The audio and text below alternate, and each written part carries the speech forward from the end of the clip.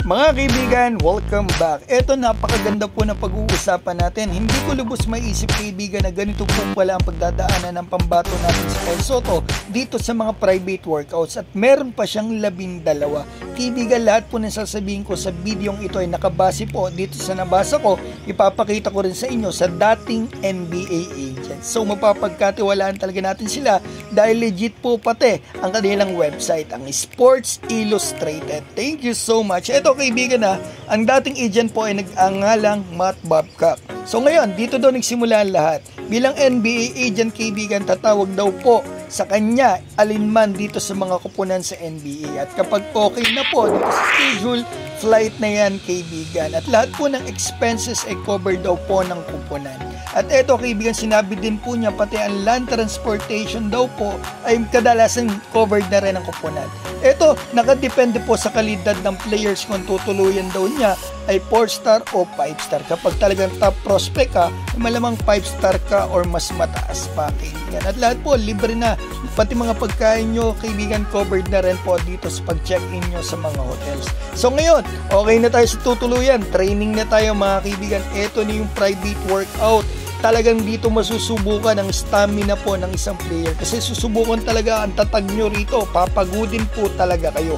At eto kadalasan daw po anim yung sabay-sabay na iniimbitahan. Halimbawa parang ganito nabasa ang pagkakaunawa ko dalawang sentro dalawang point guard at dalawang forward. Yan mga posisyon nila iba't iba. Pero pinagtatapat sila bawat posisyon nila. So ngayon kaibigan, pagalingan po talaga parang do or die ang bawat laro. At eto trivia ko lang mga kaibigan, ang pinakamahirap na workouts daw talaga ay dito sa Utah Jazz at Denver Nuggets. After ng dalawang oras na drills at saka workout, eto kaibigan, patitirahin pa kayo ng 100 shots pagkatapos ng workout. So yan, naliwanagan na kayo mga kaibigan.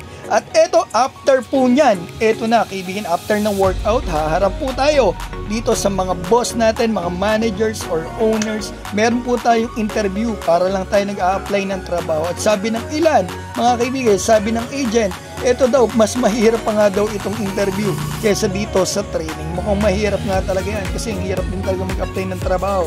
Ito kaibigan na, kala mo tapos na, simula pa lang yun kaibigan, isa pa lang yun ang pupuntahan ng pambato natin. May pupuntahan pa po siyang labing isa.